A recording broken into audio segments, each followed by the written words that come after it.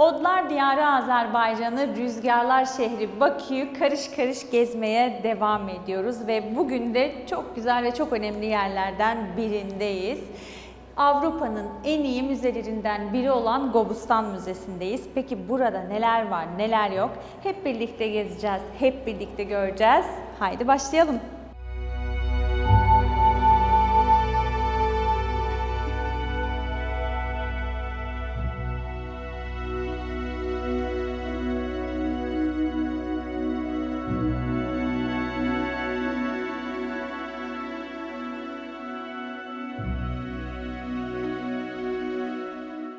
İki kat ve 14 bölümden oluşmakta olan e, bu müzede çok ilginç bölümlerden birindeyiz. Hayatın başlangıcından günümüze kadar olan bütün dönemleri gösteren bu bölümde de çok ilginç eşyalar var. Gobustan'a ait kurganlardan çıkarılmış özel eşyalar var. Buraya geldiğinizde bu güzel eşyaları da görebilirsiniz.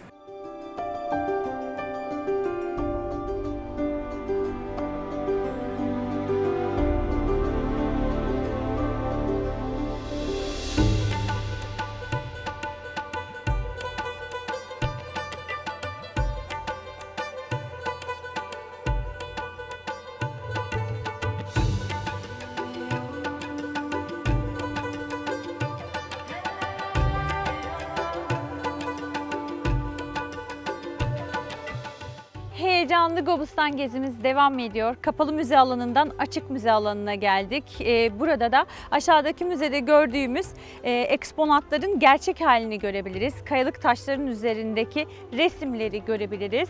Ee, şimdi burası üst paleolitik döneme ait. Peki burada neler var? Yine buraya gezeceğiz ve birlikte göreceğiz.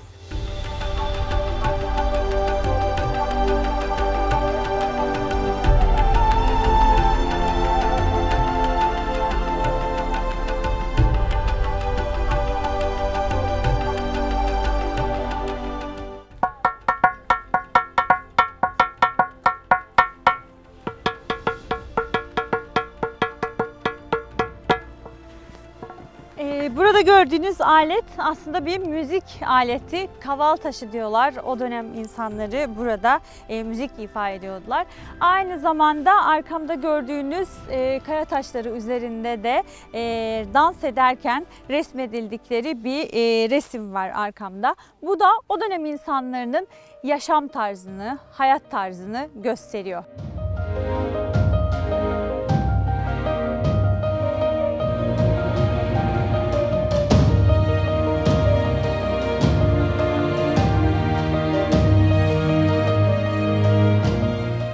Bu hafta poster olarak sizler için 2007 senesinden itibaren Dünya Kültürel Miras Listesi'nde yer alan Gobustan'ı gezdik. Biz gezerken çok keyif aldık.